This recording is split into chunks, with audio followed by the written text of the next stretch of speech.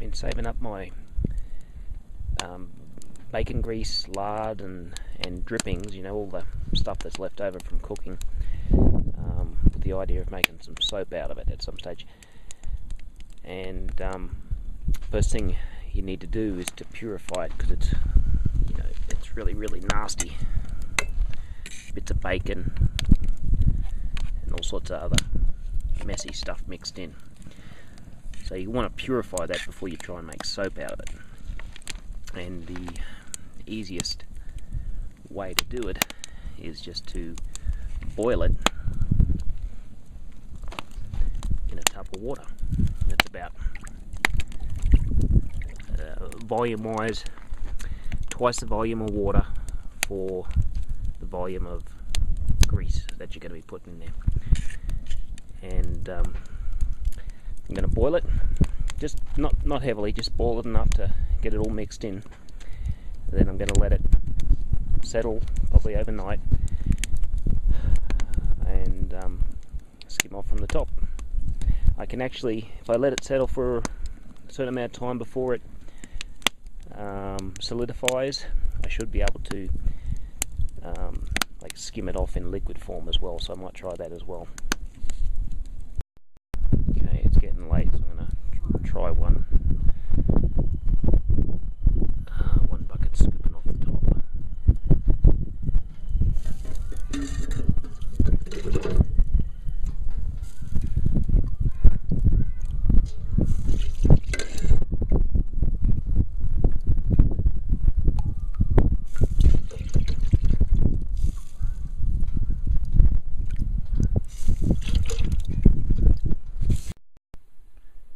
Okay, I let it cool, settle, and solidify last night, and um, now it's in solid form. I did get some off while it was still liquid, put it into these cans, and compared to what it was yesterday, that's much cleaner. I think it's still got a lot of water in it, so if I was going to store it for a long time, I think I need to um, get the water out of it by heating up the the grease. And here's the one.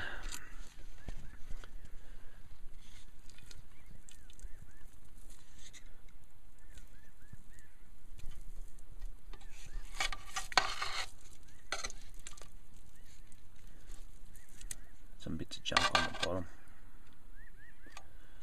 But for the most part that's a lot cleaner.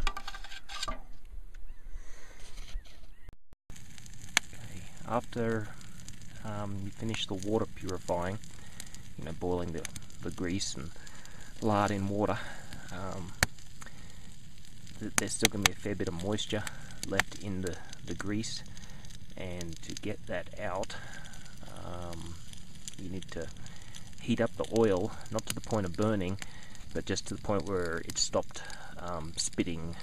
Um, this is definitely something you want to do outside and keep a very close eye on it because the oil can catch fire and um, spit up over the, the edges onto the fire, all sorts of stuff. But anyway, to purify the um, oil and get the water out of it, this is what I'm doing here. Okay, you can see and maybe hear the um, boiling. So you just you don't want to get it too hot just lightly boil it for as long as it takes for that to stop. And um, once that boiling stops, all the water has been boiled out of the lard grease mixture. Once again, don't get it too hot. Okay, so I've heated the grease oil mixture and I'm boiling off the water now see a lot of boiling going on. You don't want the um, grease to get too hot, so you've got to keep a close eye on it. And once that stops boiling, time to uh, get it off the heat. Once it stops boiling, that's all the water that's got to, all the water has been removed from the grease.